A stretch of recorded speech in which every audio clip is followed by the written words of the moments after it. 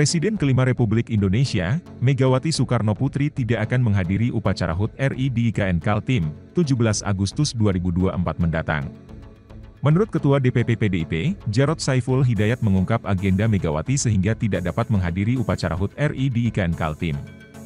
Tanggal 17 Agustus 2024 nanti, Megawati dijadwalkan menjadi inspektur upacara di Sekolah Partai PDIP di Jakarta.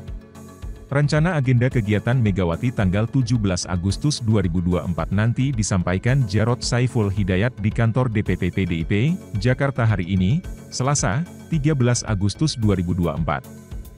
Ibu Mega diagendakan untuk mimpin upacara 17-an di sekolah partai, kata Jarot seperti dikutip Tribun Kaltim.co dari tribunnews.com di artikel berjudul Megawati dipastikan tak hadiri upacara HUT RI di IKN, Jarot menyebut hal itu merupakan permintaan dari kader-kader PDIP langsung agar Megawati menjadi inspektur upacara.